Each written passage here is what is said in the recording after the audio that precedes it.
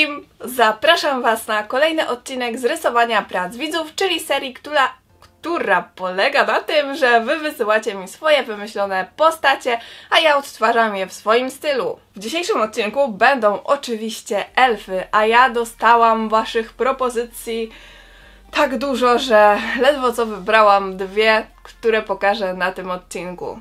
Dodatkowo chcę Wam przypomnieć, że jeśli wysłaliście mi swoją pracę, to poczekajcie do końca odcinka, bo tam może się ona również pojawić. Ok, więc możemy już zaczynać. Zaczynamy od pierwszej postaci nadesłanej przez Magdę, która ma 13 lat. Pisze ona do mnie, że rysunek przedstawia elfkę, mimo że może tego nie widać i jest to niezwykła elfka. Jej historia przedstawia się w ten sposób na biegunie północnym. No tutaj chyba mamy nawiązanie do poprzedniego tematu, ale słuchajcie dalej. Mikołaj, jak wiadomo, ma swój dom, fabrykę zabawek oraz swoich pomocników elfów. Elfy świętego muszą być na każde jego zawołanie. Oprócz pracy w fabryce przy produkcji zabawek muszą zajmować się pielęgnacją reniferów, sprzątaniem, i czasami też pomaganiem szefowi w pracach domowych. Jednak w przeciwieństwie do Mikołaja, elfy pracują cały rok. Postać na rysunku, Ellen, też pracowała jako elf świętego Mikołaja, z każdym rokiem jednakże pracy było coraz więcej. A Ellen, z racji, że była bardzo uczynną i pracowitą elfką, miała tej pracy najwięcej. Wreszcie, kiedyś nie wytrzymała. Zaspała, robiąc zabawki dla małych dzieci. Okazało się, że ta wpadka była tak tragiczna, że pewne dzieci dostały potłuczone i niedokończone zabawki. Mikołaj bardzo się wściekł. Doszło między nim a Ellen do wielkiej kłótni o jej pracę. Niestety elfka została wygnana z bieguna północnego. Błąkała się po świecie pełna smutku. Pewnego dnia zawitała do Polski, konkretnie do Kielc.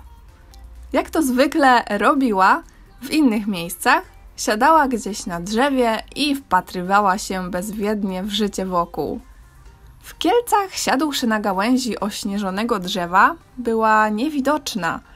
Jednak po chwili zobaczyła, że ludzie wokół patrzą się w jej stronę z dziwnymi minami rozejrzała się i zobaczyła, że drzewo, które przedtem było całe w białym puchu, teraz tylko pluło wiadrami płynącej wody. Śnieg na nim się roztopił. Ellen z przerażeniem uciekła gdzieś dalej. Biegła łąką z grubą warstwą śniegu. Kiedy jednak obejrzała się, zobaczyła swoją drogę. Nie ślady, a pas zielonej trawy zamoczonej jak w rosie. Nie wiedziała o co chodzi i co robić. Obejrzała się znów i spostrzegła niewielką postać ubraną w zieloną, piękną suknię i wianek. Lecz nie z kwiatów, a z ich pąków. Postać rzekła: Nie bój się, Ellen, nic ci nie zrobię. Mów mi wiosna. Widzę, że masz podobną moc jak ja. Ja? Ja mam moc? Zapytała Ellen. Tak, twoje dobre serce oddziałuje takim ciepłem, że nawet wśród smutku, mrozu i śniegu potrafi rozgrzać świat. Ja robię to już od setek lat i nawet jak stanę stopą na ziemi skutej lodem, on w ułamku sekundy topi się na odległość około jednego kilometra. Twoje ciało jest nieco lżejsze, więc działasz delikatniej. Chciałabyś może się do mnie przyłączyć? Powiedziała ze spokojem wiosna. Bardzo chcę pomagać światu. Myślę, że mogę spróbować, odpowiedziała Ellen. Wiosna bardzo się ucieszyła. Ellen stała się jej, hmm, asystentką. Zdjęła elfie ubrania, a wiosna ubrała ją w lniane spodnie oraz bluzkę z łodyg kwiatów Dała jej też bardzo charakterystyczny wygląd. Zmieniła jej szpiczaste elfie uszy na piękne kwiaty lilii. Ellen przychodzi od około 26 lutego do 19 marca i przygotowuje świat na nadejście wiosny. stąd się wzięła nazwa Przedwiośnie. I jeszcze na koniec Magda zostawiła mi nick do swojego Instagrama, więc jeśli bylibyście ciekawi, to zobaczcie go w opisie.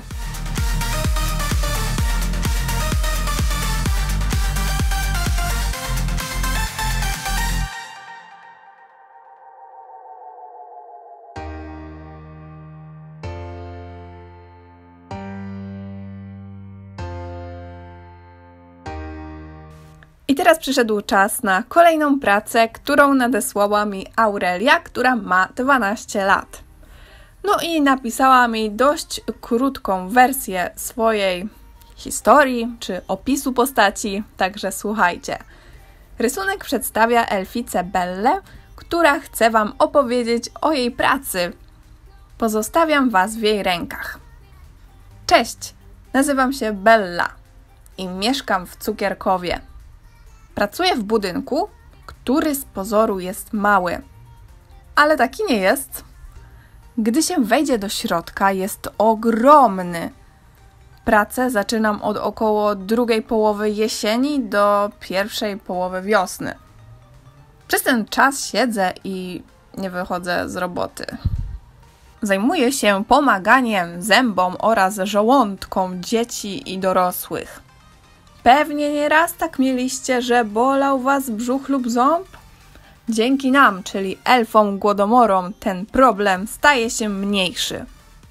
Każdy z elfów i elfic ma specjalne zadanie, czyli jeść około 1000 cukierków dziennie jednego smaku i rodzaju. Ja się zajmuję jedzeniem landrynek o smaku arbuzowym. Moja koleżanka również, ale o smaku ananasowym. Nasze usta są cukrowe, razem z włosami i rogami.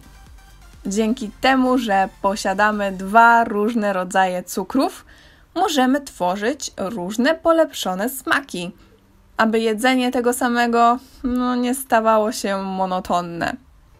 Abyśmy rozpoznawali się nawzajem, nosimy bluzki, spodnie, naszyjnik i wcześniej wspomniane rogi z nadrukiem lub przestrzenną figurką. Przez tyle jedzenia słodyczy stajemy się, nie ma co ukrywać, grubi. Ale to nie szkodzi, ponieważ mamy szybką przemianę materii, przez co musimy dużo jeść. Szybko chudniemy i dzięki temu w lato możemy spokojnie uprawiać sport. Kochamy naszą pracę też za wygodne krzesła, na których spędzamy całą robotę. Niestety czas się pożegnać, więc do zobaczenia! Ok, skoro skończyłam czytać trochę wcześniej, to mogę Wam coś powiedzieć swoimi słowami w tym odcinku. Dawno w ogóle do Was tutaj nie gadałam. Yy, tak, tutaj akurat Aurelia napisała mi, że rysunek wykonała techniką markeru, markerów na bazie alkoholu, cukrem, brokatem i kredkami, więc no fajnie. I zostawiła mi też do siebie Instagram, więc tak samo jak przy Magdzie zostawię też do Aurelii kontakt. Powiem Wam, że ta historia, czyli ta druga, jest taka dość niestandardowa, bo jak słuchacie, jak oglądacie właśnie rysowanie prac widzów, to zazwyczaj historie są takie smutne, e, bardzo dopracowane i takie, no powiedzmy, historia ciągnie się po prostu pokazując jakieś losy bohaterów, a tutaj mamy coś takiego bardziej mm, śmiesznego, takiego, że można się po prostu uśmiechnąć do monitora i też sama postać jest nietuzinkowa, bo nie jest taka szczupła jak zawsze rysuje, tylko ma jednak trochę tego tłuszczyku, więc e, z chęcią sobie ją wybrałam i poszłam trochę z wyzwaniem, bo wiecie, skoro nie rysuję, no to też to jest taki jeden z moich pierwszych razów z grubszą osobą. I bardzo się cieszę, że ją wybrałam, bo miałam super frajdę rysując tę postać. Zresztą przy pierwszej pracy było to samo, bo Magda postarała się o wszystkie szczegóły i bardzo mi się podobała, szczególnie ta bluzka zrobiona z gałęzi i kwiatów oraz spodnie lniane bardzo ładnie do siebie pasowały kolorystycznie.